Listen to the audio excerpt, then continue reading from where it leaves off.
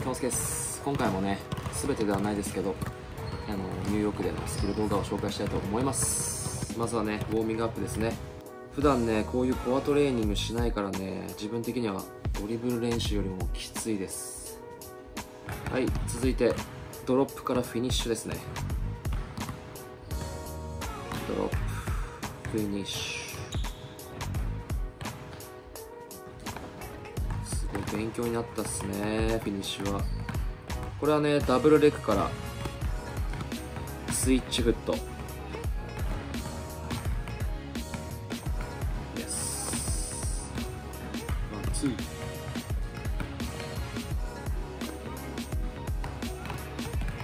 次はね、えーアタックからボディコンタクトしてフィニッシュ。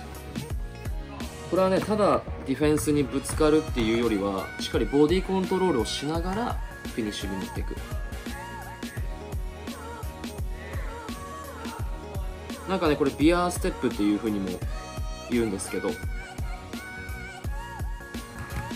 っかりねディフェンス見ながら体当ててまあこれステップをなんかテンポをこう変えたり変化することによってよりディフェンスが嫌だし質が上がると思います。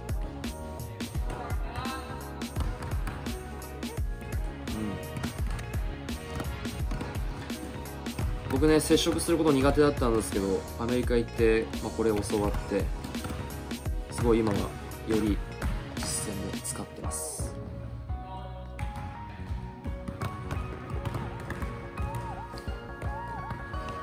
はい次はねえー、ラテラルから。お互いねこうピックを想定してフィニッシュまで持っていく。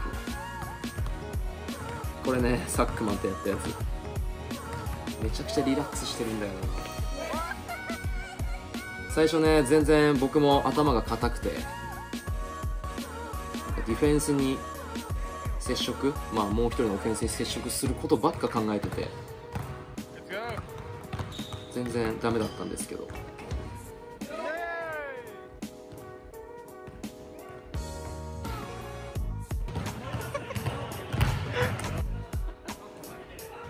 最後はねなんかいいイメージができてフィニッシュまで持っていきましたね。続いてね101みんな大好き。今回ね最初から練習してきてやってきたことを意識しながらねこの101を行いました。佐久間もね喜んでくれて.やっぱね練習してきたことを意識して使うとかなり実践で発揮できます。特に僕の場合はねただドリブルスキルだけじゃなくてフィニッシュもかなり引き出しが増えたんでこれからも続けていきたいですね。はい最後。キックアウトからスリーポイント。これはねかなり考え方が変わったというかすごい自分の中に変化が生まれました。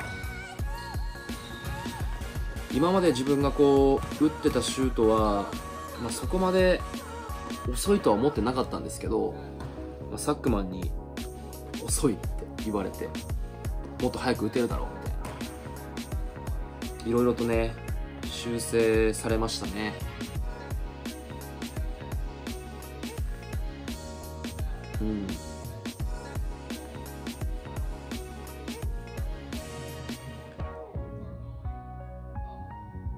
one、two、three みたいなタイミングでもともと打ってたみたいで、自分ではあんま気づかなかったんですけど、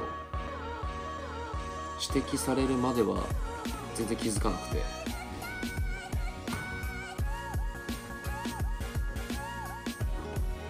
うん。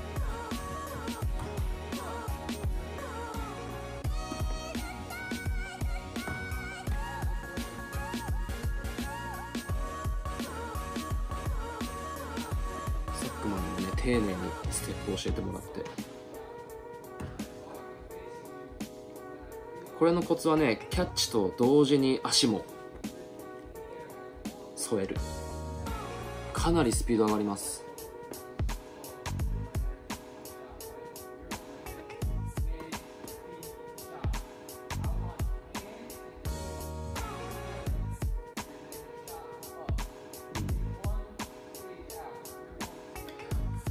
実際ね実践で意識してやるとかなり変化が分かりました。 one two three で打ってたのをこう one two に変えることで実際にねディフェンスとの距離も変わりましたし自分的には確率も上がったと思います。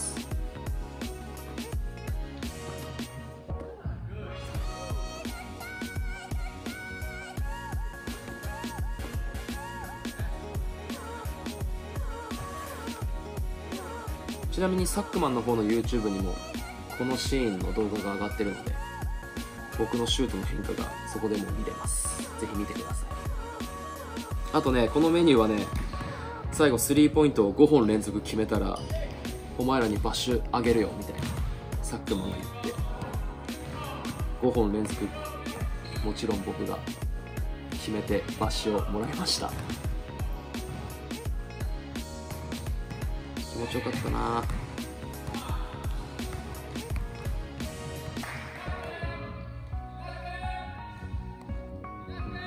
これはね本当になんか意識も変わったな。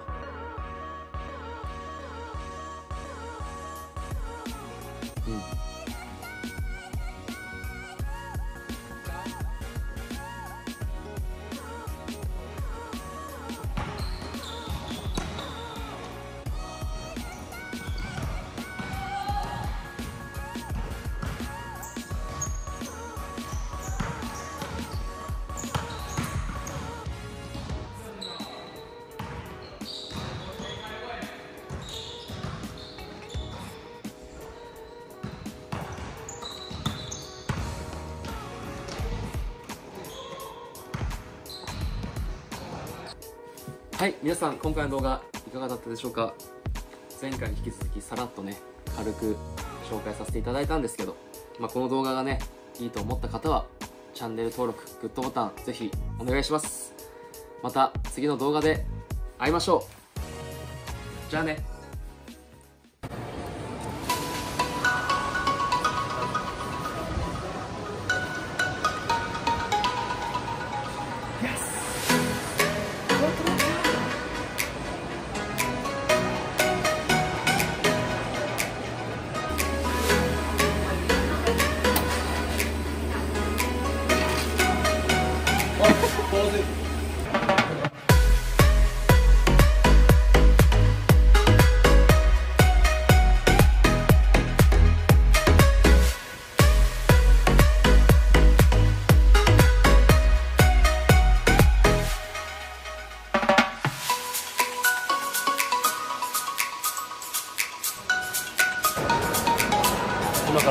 試合を見に行きます。レゴ。ー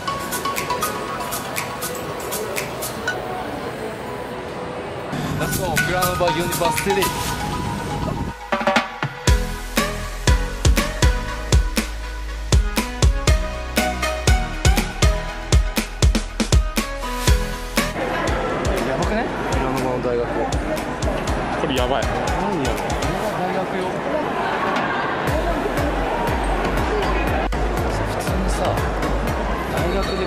やろ。環境も。すごいな。やばいいやこれから体育館に行きます。マジやばいと思う。